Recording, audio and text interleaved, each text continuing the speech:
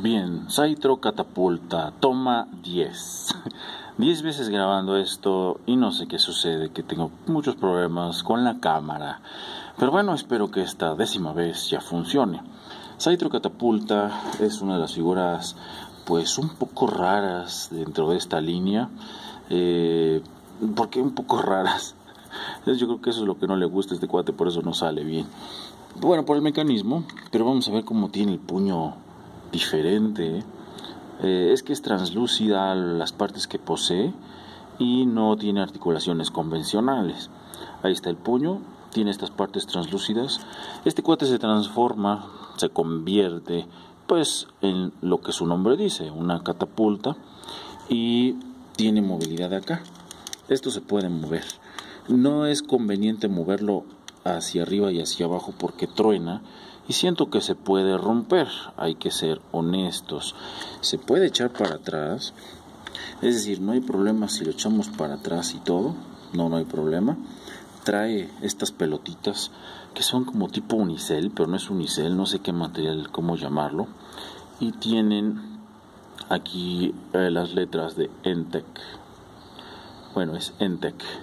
Y pues trae un visor que es translúcido como es el Saitro, que nosotros conocemos normalmente.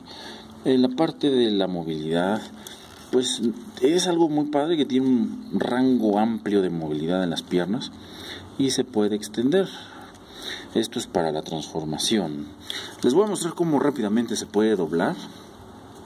Esto se puede doblar así y esto se desprende. Ahí salieron volando las pelotitas y sirve para que uno lo pueda poner ahí. Este, necesitamos bajar un poco más. Sirve de apoyo la parte de atrás, digamos, para que no se balance. El problema es que está un poco guango, flojo de las piernas y ese es el pequeño detalle. Ahora pues para convertirlo, aquí tiene este dispositivo para disparar. Apretamos y dispara.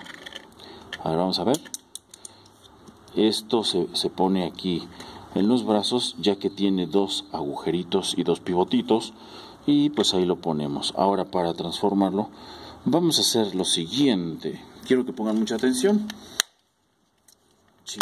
Esto era lo que les decía yo. Lo que hacemos es que hay que girar esto se gira hacia adentro y este también se gira hacia adentro y espero que sí se vea, sí se ve bueno, y lo que hacemos es rápidamente atorarlo para que haya una unión así, ya que nosotros lo echamos hacia atrás y va a disparar la pelotita. Quiero que noten esto.